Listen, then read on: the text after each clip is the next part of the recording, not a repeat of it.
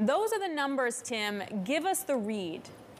Okay, good morning. So the summer was really a month of transition for sure. Uh, in November, we indicated that there was some movement towards a better equilibrium between demand and supply. In December, for sure, we saw that. You saw a slight improvement on the employment number.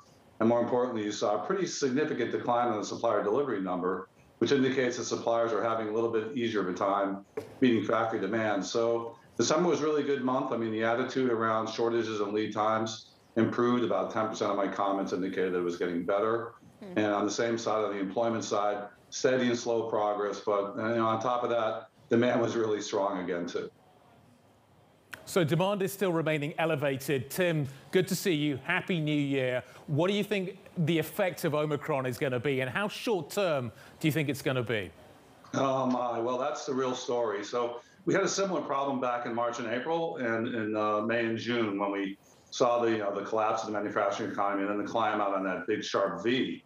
And what's, you know, what happens is, is that even if you're collecting information on a monthly basis, when things happen and change on a weekly basis, our numbers don't truly reflect that. So in the last week, there's been a lot of indications that there's a lot of absenteeism. People are testing positive, even though they went from a 10-day quarantine to a five-day quarantine.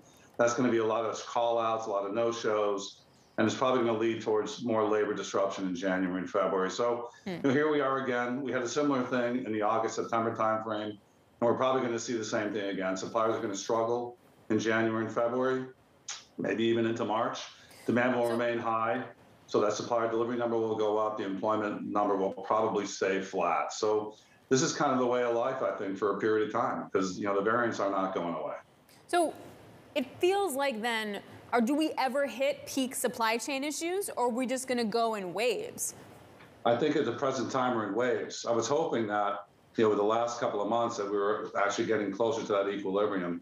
But based on everything I'm hearing in the last week, there's just a lot of 20% infection rates on the test side. The good thing is the hospitals are not overwhelmed at, at yet.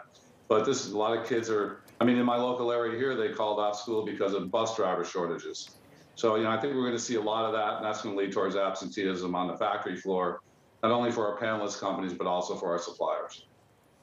Tim, how do you think it's going to be this year? How difficult is it going to be? You're kind of painting a picture of volatility in terms of the data that we're going to be getting. Are we just going to see kind of rolling factors, rolling from one part of the manufacturing sector to another, uh, supply bottlenecks here, taking a while to impact supply bottlenecks over here? How, how clean is the data right now that you're seeing?